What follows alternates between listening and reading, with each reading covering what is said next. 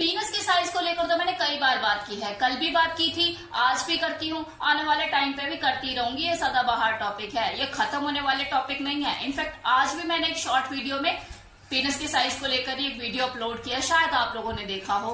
लेकिन आज इस वीडियो में आपको पता लगने वाला है कि आपके पीनस का टाइप कौन सा है। वो किस शेप का है। अगर जानना चाहते हो तो इस वीडियो में लास्ट तक बने रहिए। तो नंबर वन बनाना अपवर्ड जब ये पीनस इरेक्ट होता है तो ऊपर की तरफ़ पॉइंट आउट होता है, बिल्कुल आपकी नवल की तरफ़। इस टाइप के पीनस से कोई फीमेल को बहुत ज़्यादा प्लेजर महसूस होता है, वो इस तरह के पीनस को बहुत ज़्यादा पसंद करती है।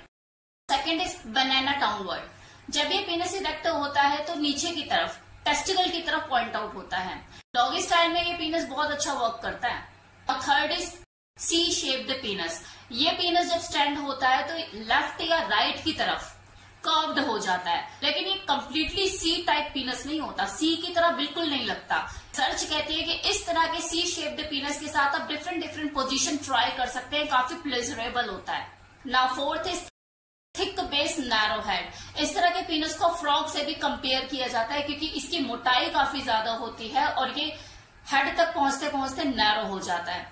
अर्ज़ कहती है कि किसी फीमेल को इस पीनस की थिकनेस की वजह से, इसकी मोटाई की वजह से काफ़ी ज़्यादा प्रेजर मिलता है और वो ऑर्गेजम तक भी जल्दी पहुँचती है।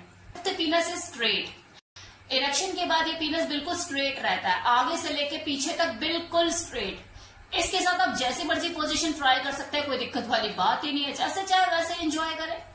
Now next is hammer shaped penis को देखते ही, आपको समझ आ गया होगा कि वो पीनस होता है, जो कि शाफ्ट से तो पतला होता है, लेकिन पीनस हेड से मोटा होता है।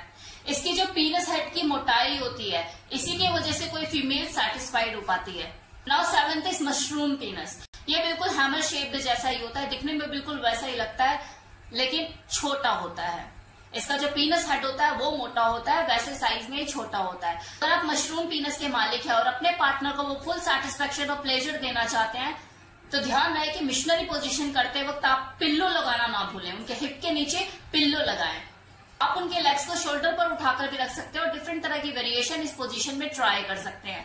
एक चीज़ का ध्यान रखिए पेनिट्रेशन ही सब कुछ नहीं होता। आपका आर्टिस्टिक होना स्किल्ड होना बहुत मैटर करता है। एनीवे anyway, ये तो बहुत ही शॉर्ट वीडियो रहा जिसमें मैंने चार बातों में आपको चीज़ें समझा दी। अगर आपको इसका डिटेल वीडियो देखना है जिसमें मैंने डिटेल में हर चीज़ को छोटी छोटी चीज़ को डिस्क्राइब किया हुआ है तो इस वीडियो का ये जो थंबनेल आपको दिख रहा है इस वक्त, इस वीडियो का लिंक मैंने डिस्क्रिप्शन बॉक्स में दे दिया इस वीडियो को जाके देखिए। आपको डिटेल में इंफॉर्मेशन मिलेगी।